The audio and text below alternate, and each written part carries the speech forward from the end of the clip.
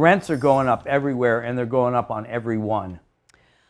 Rent prices across the valley, as he said, are rising by hundreds of dollars for renters. A new study found five of the top 15 rental price increases across the country were right here in the valley. Scottsdale ranked number three on the ranking by apartment list, which based estimates off of rent prices listed on that website. Mesa, Phoenix, Glendale, Chandler were all in the top 15. Michael Raimondi's on this story live in downtown Phoenix, showing us how those higher prices are impacting people. Michael.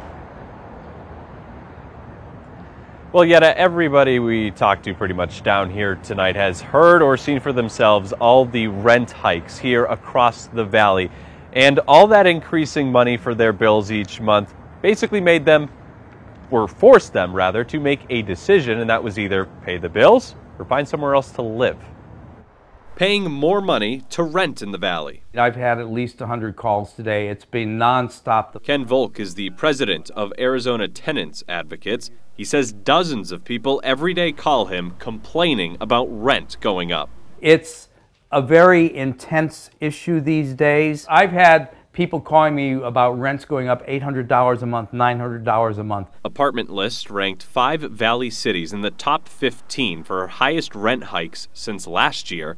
But Volk says the higher prices are everywhere. All hell's breaking loose. Uh, Lindsay Foster knows firsthand. I like like this area, but it's not worth it for how much I was paying. She had to move out of Phoenix for a better deal.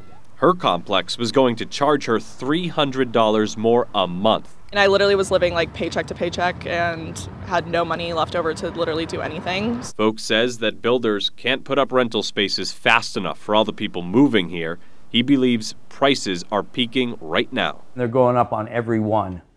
This is, uh, this is not socially limited, you know, it's, it's, it's widespread. Now, there is no limit on landlords here in Arizona, and Volk says he does not expect these prices to come down anytime soon. Reporting live in downtown Phoenix tonight, Michael Raimondi for Arizona's Family.